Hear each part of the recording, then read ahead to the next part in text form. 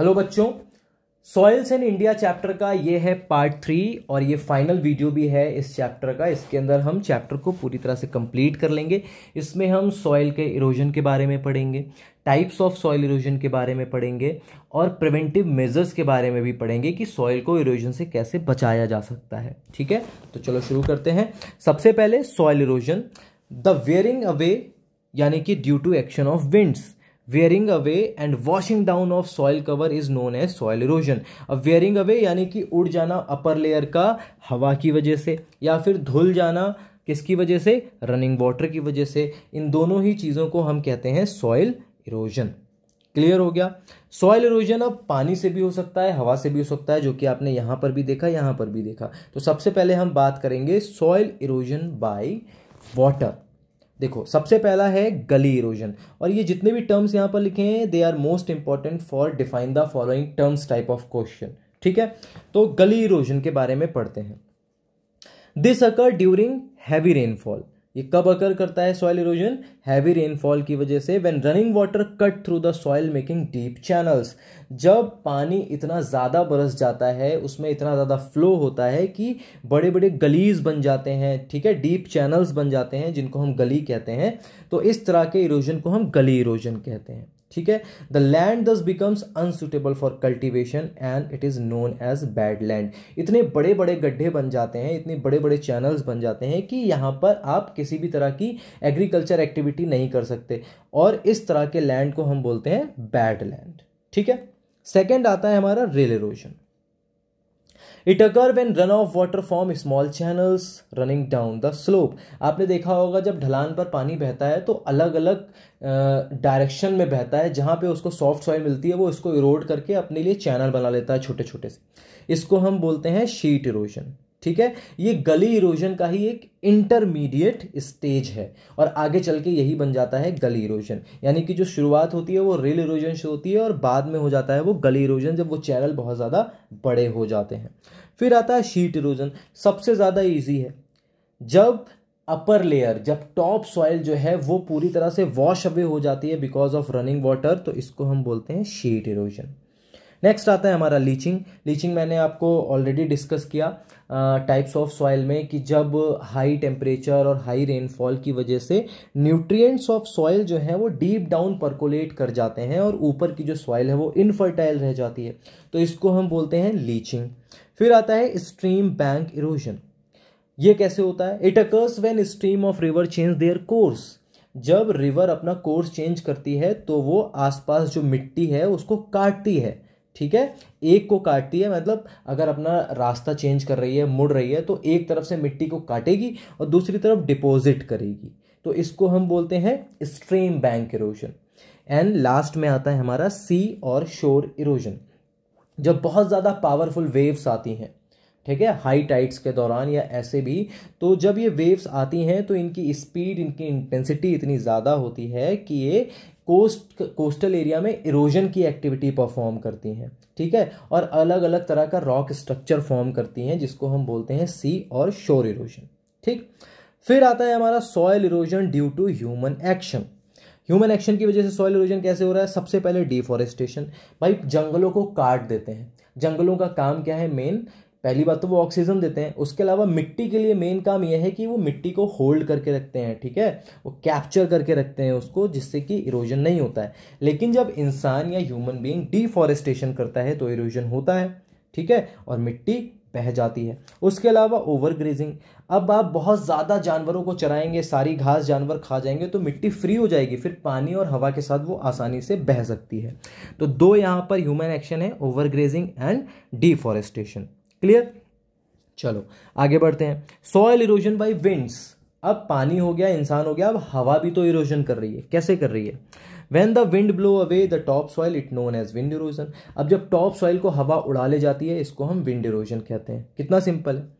ठीक है? Second point when a bare land is expose to high speed winds जब एक खुला खाली मैदान मिल जाता है और वहाँ पर बहुत हाई स्पीड से विंड चलती है तो जितने भी स्मॉलर पार्टिकल होते हैं ना, वो सारे के सारे मूव हो जाते हैं बाउंस करते हुए इधर उधर उछलते हुए।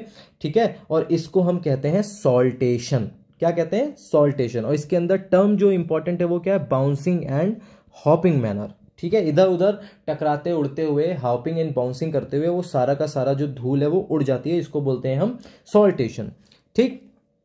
थर्ड आता है the rolling and the sliding of larger soil particles अभी तक हम किसकी बात कर रहे थे? स्मॉलर सॉइल पार्टिकल की जो उड़ गई। अब जो इससे थोड़े से बड़े साइज़ के पार्टिकल्स हैं, वो रोलिंग करते हैं स्लाइडिंग करते हैं, और इसको हम बोलते हैं सॉइल क्रीप ठीक है? तो एक हो गया सॉल्टेशन दूसरा हो गया सॉइल क्रीप आगे बढ़ते हैं। In India the following region are effected by soil erosion अब इंडिया में सॉइल इरोजन किससे कौन कौन से एरिया इफेक्टेड है, इससे पहले हम ये फ्लो चार्ट देख लेते हैं। Causes of soil pollution in India soil के पोल्यूशन के लिए इंडिया में कौन कौन से कॉजेज जिम्मेदार हैं या कॉजेज हैं? तो सबसे पहले देखो heavy population and pressure on land deforestation topography, overgrazing bad farming techniques and heavy downpour of rain. ये इतने फैक्टर हैं जो कि सॉइल के पोल्यूशन को एक तरह से परफॉर्म करते हैं या फिर उसको कॉज करते हैं। क्लियर? चलो, अब आगे बढ़ते हैं। In India the following region are affected by soil erosion कौन कौन से? सबसे पहले badland of Chambal and Yamuna rivers. Western Himalaya region, Chota Nagpur plateau का रीजन, ताप्ती साबरमती वैली, जो कि गुजरात में है। उसके बाद regular soil area of Maharashtra, यानी ब्लैक सॉइल की बात हो रही है, and dry areas of Rajasthan, Gujarat and Haryana. ये इतने एरियाज़ हैं जो कि सॉइल के इरोजन से बहुत ज़्यादा इफेक्टेड रहते हैं। तो भाई, ये तो हो गई बात सॉइल इरोजन की। अब सॉइल को इरोजन होने से कैसे बचाया जाए? Method to prevent soil erosion क्या क्या हो सकते हैं? चलो देख लेते हैं। सबसे पहले है हमारा कंटूर प्लफिंग ठीक है? या प्लोइंग भी बोल सकते हो। When you plough along the contour lines it is called contour ploughing ठीक है? कंटूर लाइंस का मतलब सेम हाइट पर जब आप प्लोइंग कर रहे हो, उसको हम कंटूर प्लोइंग कहते हैं। It decreases the flow of water down the slopes and thus help in soil conservation और इससे होता क्या है कि जो सॉइल का इरोजन है फ्लो करते हुए वाटर के साथ डाउनवर्ड वो थोड़ा सा कम हो जाता है और सॉइल हमारी कंजर्व हो जाती है। सेकेंड आता है टेरेस फ़ार्मिंग अब यहाँ पर देख लो ये। ये टेरेस फ़ार्मिंग का फ़ोटो बना हुआ है। अब यहाँ पर आप देखो क्या है, छोटे छोटे छोटे छोटे स्टेप्स बने हुए हैं, सीढ़ियाँ बनी हुई हैं जिसके ऊपर ये फ़ार्मिंग हो रही है। When steps are cut out on the slopes of hills making terraces इसको हम कहते हैं टेरेस फ़ार्मिंग और ये भी सॉयल इरोजन को स्लो डाउन कर देती है। स्ट्रिप क्रॉपिंग की बात करते हैं।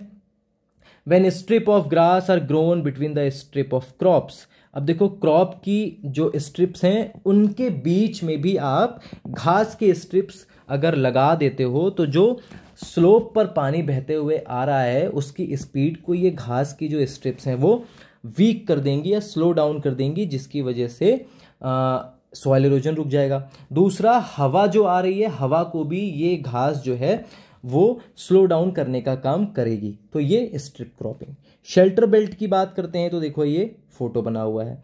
ये जो है बेसिकली काम करता है डेजर्ट एरिया में, जहाँ पर बहुत ज़्यादा धूल उड़ती है, ठीक है? हवा से इरोजन होता है। तो क्या करते हैं?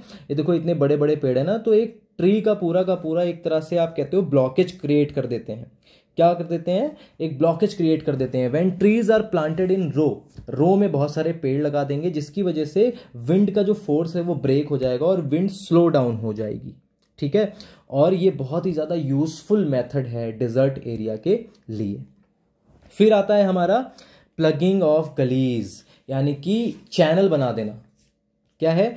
जब हम स्लोप पर खेती कर रहे हैं तो उसके रास्ते पर बहुत गहरी गहरी नालियाँ बना देते हैं। इससे होता क्या है, जो सिल्ट हैवी रेनफॉल के साथ बह के आती है, वो उन गड्ढों में डिपॉजिट हो जाती है और पानी उनके ऊपर से बह जाता है। तो इस तरह से हम सॉइल को बचा लेते हैं।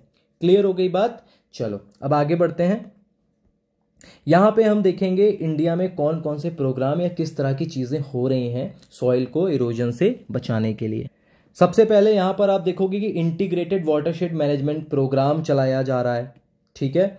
इसमें आप देखोगे कि during the six plan of flood prone rivers the program enhances the ability of the catchment by absorbing rain water and reducing erosion इसका मेन काम क्या है? इसका मेन काम यह है कि जो फ्लड प्रोन एरिया है, वहाँ पर किसी भी तरह से कैचमेंट एरिया के अंदर रेन वाटर से जो इरोजन हो रहा है, उसको बचाया जा सके। ठीक है? सेकेंड रिवर के आसपास का जो एरिया है, उसको भी डेवलप किया जा सके। ठीक है? तो यहाँ पर बात हो रही है सेकेंड पॉइंट की scheme of reclamation and development of ravine areas जो कि 1987-88 में मध्य प्रदेश, उत्तर प्रदेश एंड राजस्थान में लॉन्च किया गया था। और इसके अंदर ए फॉरेस्टेशन को भी मोटिवेट किया गया है कि आप जितने ज़्यादा से ज़्यादा पेड़ लगाओगे, उतना ही ज़्यादा अच्छा होगा कि हम सॉइल को इरोजन से बचा सकते हैं। ठीक है?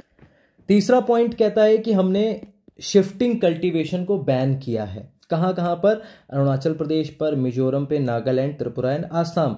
Shifting cultivation के अंदर बहुत ज़्यादा फॉरेस्ट काटे जाते थे, इसीलिए इसको बैन किया गया। ठीक? इसके बाद जो हमारा सेवेंथ फाइव ईयर प्लान था, यानी कि जिसको हम पंचवर्षीय योजना कहते हैं, वहाँ पर एक तरह से फर्टिलाइज़र का बैलेंसिंग यूज़ करने के लिए ये मोटिवेट किया गया कि आप ज़्यादा से ज़्यादा बायो फर्टिलाइजर्स का यूज़ करो। तो ये कुछ प्रोग्राम चल रहे हैं, जिनके बारे में बहुत डिटेल में बात की जा सकती है, लेकिन अभी आपके स्टैंडर्ड पर इतनी ही बात की जानी चाहिए, क्योंकि ये बहुत ही ब्रॉड से टॉपिक हैं, जिनके बारे में बहुत देर तक बात चल सकती है। तो आज के वीडियो में बस इतना ही। यहाँ पर आपका सॉइल का चैप्टर जो है वो खत्म हो जाता है। और अब मैं आपसे मिलूँगा किसी नेक्स्ट चैप्टर के साथ। तब तक के लिए thank you so much if you have any question you can ask in the comment box I will try to reply everyone thank you